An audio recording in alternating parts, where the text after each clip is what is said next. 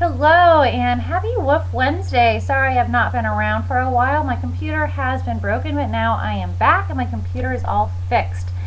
Today's Woof Wednesday, I'm going to be talking to you guys about your dog's fur coat that it constantly has around. Now, as most of you have noticed, it has been starting to get super cold lately. And that means that your dog may be shedding off its summer coat and growing in its a winter coat. And for the dogs that don't shed, you may have noticed that your dog's skin may be getting a little bit dried out. So here are some tips for you that you can help your doggy out and your furniture as well.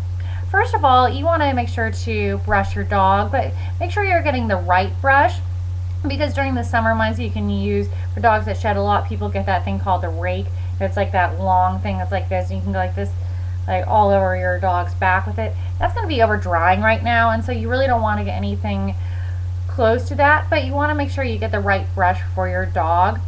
Um, secondly, you want to make sure to possibly give it a bath and give it an oatmeal bath because oatmeal is going to be very soothing on their skin in case it is drying out.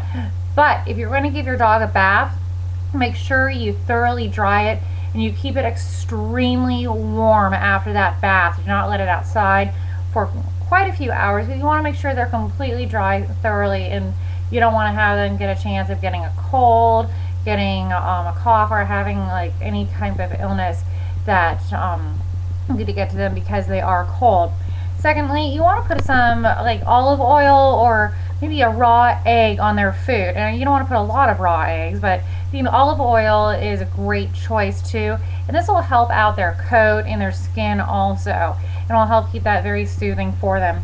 Another thing for you guys is you want to cover your furniture or maybe your uh, back seat of your car because if your dog is shedding right now that their fur is going to be everywhere and you want to make sure that that's all covered up and protecting your furniture. Also keep those little roller thingies all around for you so that you are able to not look like a mess when you go out. Your dog can't help it at all, but you want to make sure that you're taking care of yourself too. But um, just make sure you're like keeping your dog okay and and getting that excess fur off of them as much as possible. Thank you so much for watching Woof Wednesdays, and you guys have a wonderful rest of your week. Bye-bye.